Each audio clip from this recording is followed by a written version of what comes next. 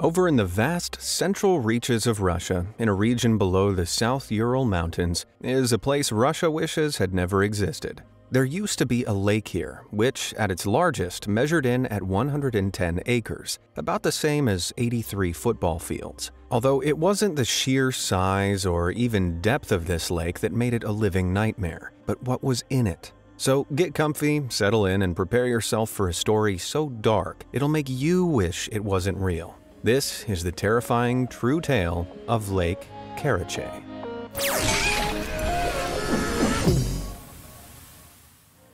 Back in 1945, the first nuclear bomb was used as a weapon during the Second World War. It was dropped by the Americans on Hiroshima, Japan, leveling five square miles of the city and killing up to 180,000 people. Tens of thousands perished immediately, and the effects of deadly radiation in the days and months that followed claimed around 100,000 more. It was the single most devastating weapon that had ever been developed, and it caught the eyes of leaders around the world. One of those was Stalin, the then leader of the Soviet Union. Determined to compete with the US, he ordered the development of a series of top-secret nuclear facilities in a location hidden from enemy eyes. These would be dedicated to producing the materials needed to create nuclear weapons. He settled on this region of central Russia, below the South Ural Mountains, which was far enough from the borders and other inhabited areas to keep the project hidden from the rest of the world. Between 1945 and 1948,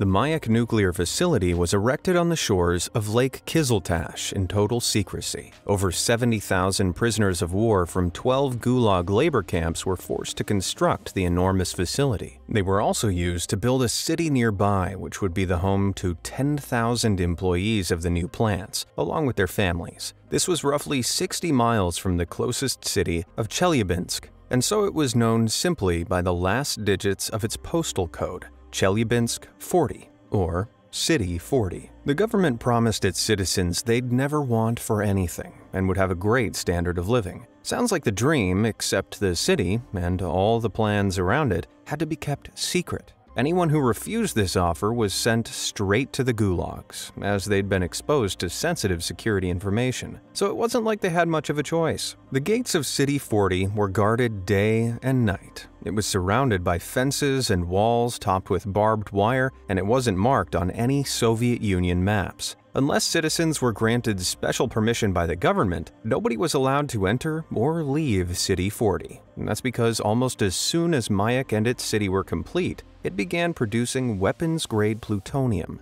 something they didn't want the rest of the world to know. By 1949, the Soviets had their hands on their first plutonium bomb, which was called First Lightning. The success fueled them to make even more atomic weapons, with around 44 cities similar to City 40, colloquially called closed cities, established around the Soviet Union. Some of the facilities attached to these housed all manner of nuclear research efforts, from plutonium production to uranium enrichment, but the Soviets weren't the inventors of the first closed cities. That idea came from the US's Richland City, which was secretively built around the Hanford nuclear plant, the same plant that supplied the plutonium for the bomb dropped on Hiroshima. Soviet spy circles had intercepted plans for this city, with Stalin deciding to use this information to follow in the US's footsteps. Although that wasn't the only secret they stole. The majority of the Soviets' nuclear research had been stolen by atom spies involved in the Manhattan Project, the mission that developed the first nuclear bomb.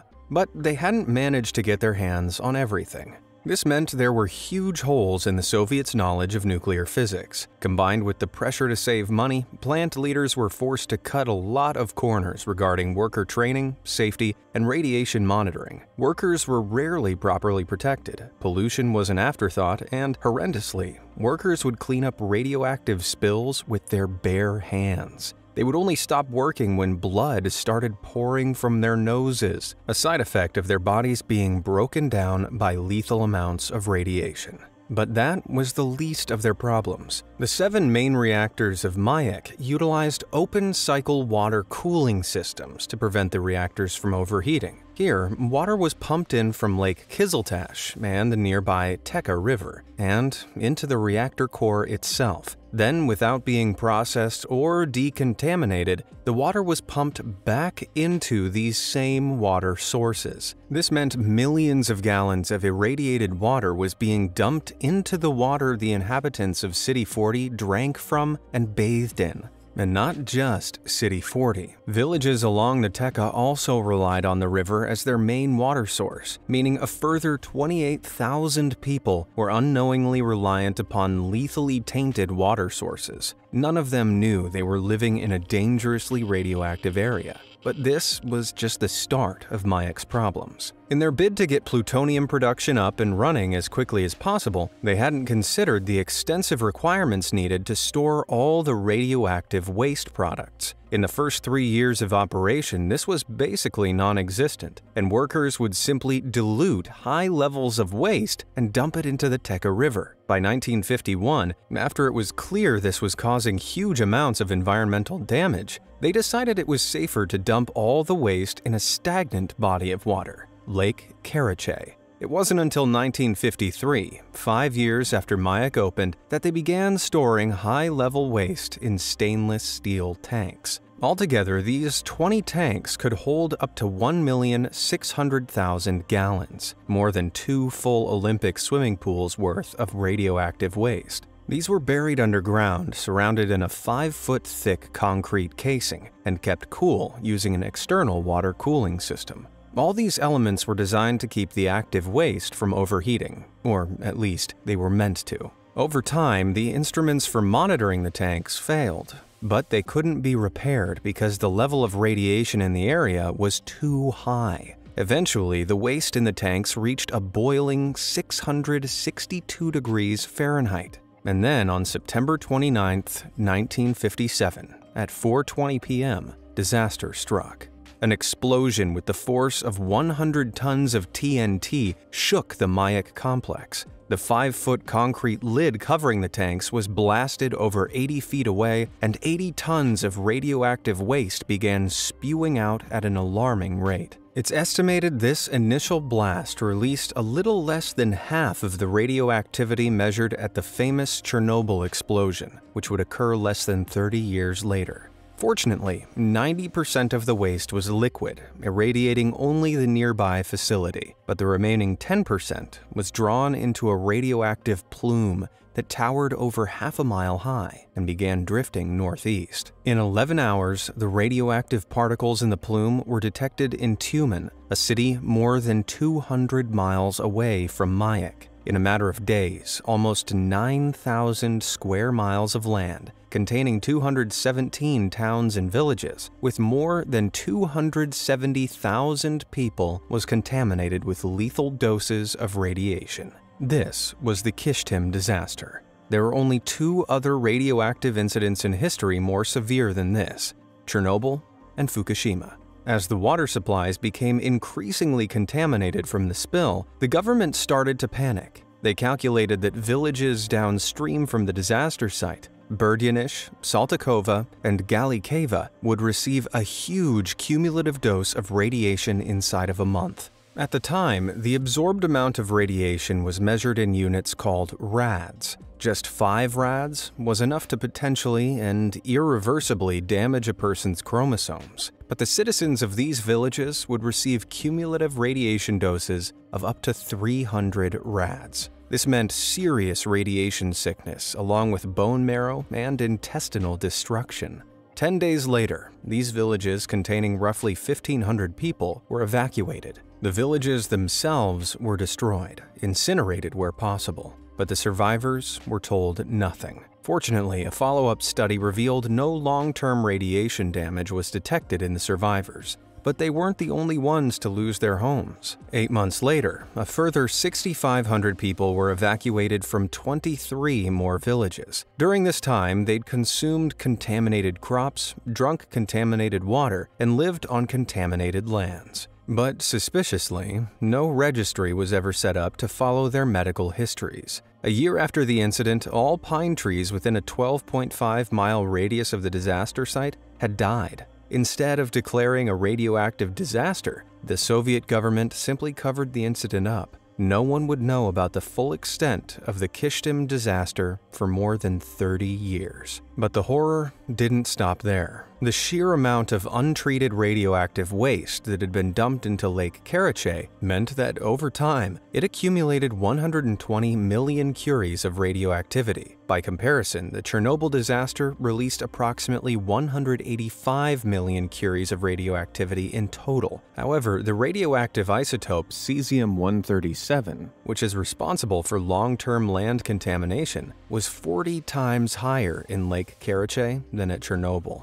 That meant the lake and the area surrounding it would remain contaminated for much, much longer. It also meant that if anyone decided to visit the most polluted part of the lake, or just dip their foot in the water, within an hour, they'd receive a lethal dose of more than 500 rads. You might think this would destroy their foot, maybe see it shrivel up, melt off, or even sprout a few more toes depending on how you think radiation works. But actually, this would result in acute radiation sickness. The exposure would begin to destroy all the cells in the entire body rapidly. How rapidly? Well, after 30 days, there's a 95% chance you'd be dead.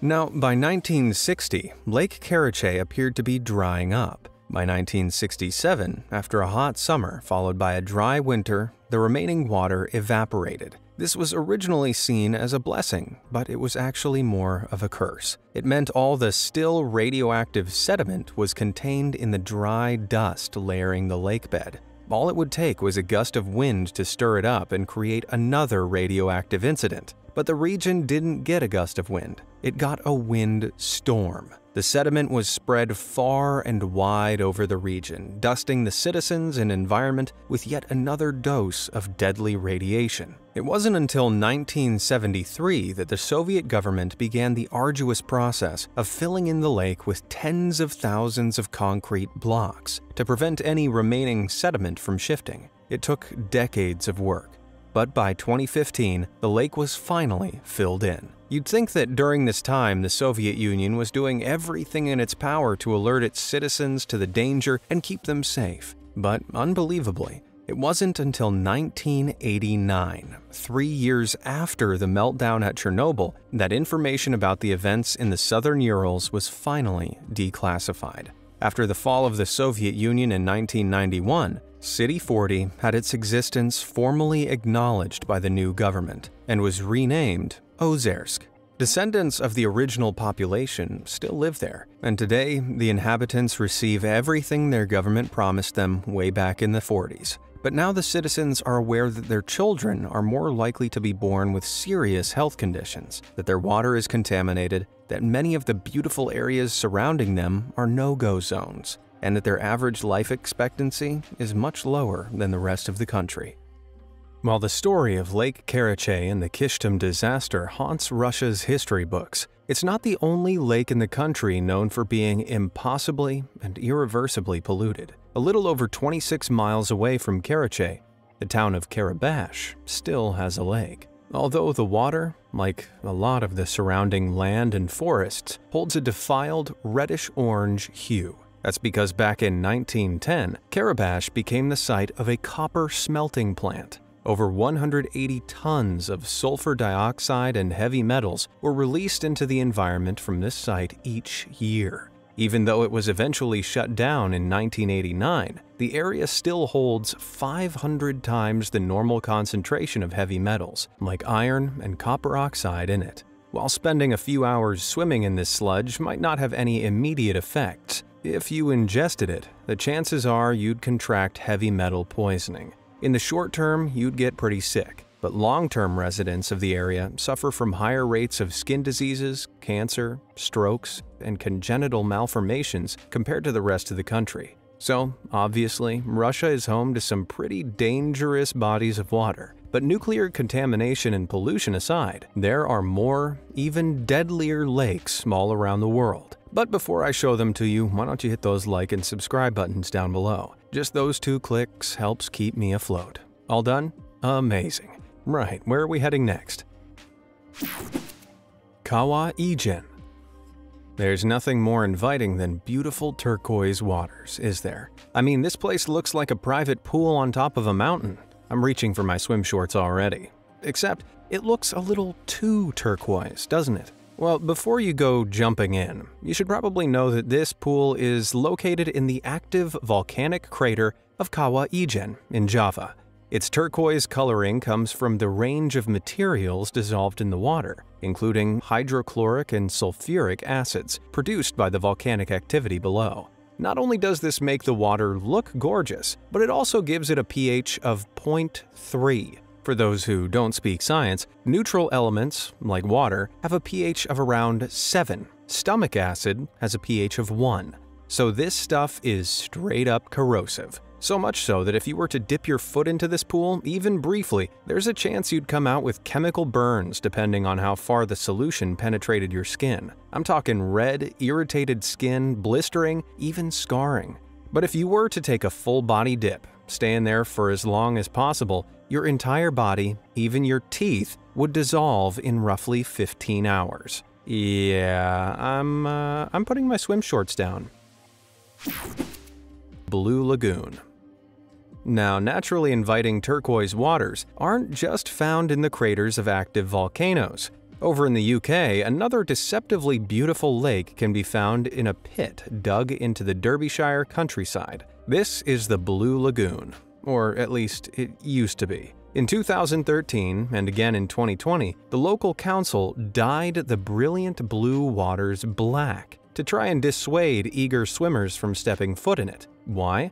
Because it's toxic. It's actually situated in an old limestone quarry, which after it was disused in 1952, was used by the Royal Air Force to store chemical weapons until 1960. Eventually, it was emptied out and left to gather rainwater. But the water turned turquoise as limestone rocks leached calcite crystals into the water, giving the lake a pH of 11.3, Considering ammonia has a pH of 11.5 and bleach is about 12, going anywhere near the water in this lagoon is a horrible idea. Despite signs warning about skin irritation, stomach problems, and even rashes, it wasn't enough to stop people being drawn in during lockdown. Not even all the dead animals and trash that have found their way into these deadly waters over the years was enough to keep them away. Maybe what this lagoon needs is a new sign, one that says, only idiots swim here. Yeah, that should do it. Berkeley Pit The horizon of Butte, Montana looks like any other city until you clock the gigantic one mile long and half mile wide pit gouged into the landscape. Yeah, the one filled with ominous black and red liquid that's 1,780 feet deep. This is the Berkeley Pit, an open pit copper mine dug back in the 1950s, where it produced nearly 17,000 tons of copper a day. However, it was closed in 1982 after its profitability plummeted. They shut off the pumps keeping the groundwater at bay, and the pit began to flood. But the water that filled it up was laden with chemicals and metals leached from the rock like arsenic, cadmium, zinc, and sulfuric acid, giving it that devilish color, and then some. In 1995, a flock of 342 snow geese were found dead in its waters. They'd been resting in the lake to avoid a squall, but little did they know the lake has a pH of 2.5, meaning it was acidic. While it was only about as acidic as substances like lemon juice, the poor birds were found with burn sores all over their bodies. Montana has since begun water treatment efforts to pump and treat the pit. But still, while it wouldn't kill you, stepping foot in something with that kind of history can't be good for you. Grand Prismatic Spring Now, not all deadly bodies of water look so ominous if the Grand Prismatic Spring of Yellowstone National Park is anything to go by. Found in the Midway Geyser Basin, this is the third largest natural hot spring in the world, at 370 feet in diameter, making it bigger than an entire football field. The incredible concentric circles of vibrant blues, greens, yellows, and oranges make it look like someone has painted a target onto the bedrock beneath but the color actually comes from heat-loving bacteria. As the geothermically heated water erupts from the center of the spring, it reaches a spicy 189 degrees Fahrenheit. When it spreads out, the water cools, allowing rings of different bacteria that thrive at different temperatures, ranging from 131 to 189 degrees Fahrenheit. That's pretty hot. So hot that if you were to put your foot into the center of the circle for just a few seconds, you'd be left with third degree burns, though it could always be worse. Back in 2016, a young man named Colin Scott slipped and fell into a nearby geyser and was boiled alive. That's horrifying, but what made it even worse was that the water here is slightly acidic, and combined with the intense heat, the poor man's body dissolved overnight. No trace of him was ever found. So if you ever visit this hotspot, be sure to stay well away from those colorful edges. Rio Tinto Snaking over the Spanish countryside is a river that looks more like a forbidden gummy worm than water. This is the Rio Tinto, a name that helpfully translates to the Stained River. At more than 62 miles in length, roughly half of the river is colored red, orange, and yellow. That's because it flows through an area that's rich with sulfur ore deposits, which formed hundreds of millions of years ago, when there were active volcanoes in the area. Thousands of years of mining have also amplified the process, increasing the amount of exposed ore. This has made the river incredibly acidic, meaning the only thing that can live in the water is sulfur-consuming bacteria. As they consume the sulfur, they produce ferric iron, a rust-colored substance that gives the river its red hues. Together, the ore deposits and bacteria drop the pH level of the water as low as 1.5, meaning this river is more like vinegar than water. Now, dipping your foot in this wouldn't cause any initial damage, but leaving it in for an extended period would result in irritation and redness. Well, that doesn't sound too bad. Even so, I don't think anyone should go splashing about in it. Lake Natron Tanzania is famous for its stunning Serengeti National Park. But surprisingly, it's less well known for the 490 square mile body of water on its northern border that has the power to turn living things to stone. I know that last bit sounds like something out of Greek mythology, but trust me, it's all real.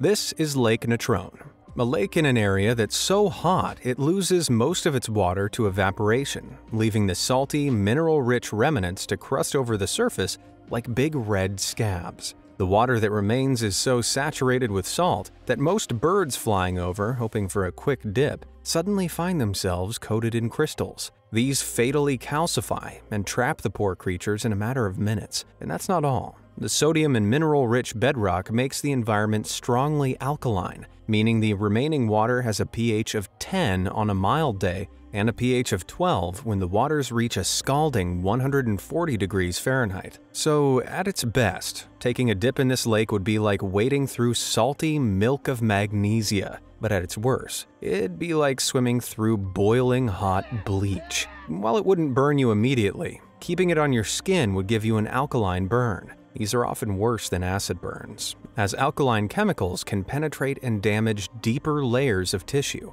something a group of very unlucky wildlife photographers almost learned the hard way back in 2007. As they were flying over the lake, their helicopter crashed into the water. The hot water immediately began burning their eyes and practically blinding them, but they miraculously managed to travel around two miles to the nearest solid ground. Fortunately, they all recovered, but any longer in there, and it might have been a very different story. Boiling Lake Do you know what a fumarole is? Aside from being a really fun word to say, fumaroles are openings in the planet's crust which emit superheated steam and gases. But when a fumarole gets flooded, that's when you get something like the boiling lake in Dominica. At roughly 250 feet wide, this bubbling water is usually enveloped in an ever-present vapor cloud. That's because the water here fluctuates between a spicy 180 and 197 degrees Fahrenheit. Although that's just the temperature at the edges. Scientists haven't been able to measure the temperature at the center where the lake is actively boiling because it's simply too hot for them to handle. It's believed that this lake lies just above the local water table, which is the natural boundary between the dry soil and the saturated soil of the earth. This is what keeps the lake from drying up entirely, even though much of its water is lost to evaporation. Now, it's pretty obvious that sticking any part of your body in this is a bad idea. That's a second, maybe even third degree burn just waiting to happen. But it's not the only reason why this lake is one of the most dangerous in the world. Way back in 1900, a group of hikers was clamoring around the area when all of a sudden, the lake released a cloud of toxic volcanic gases.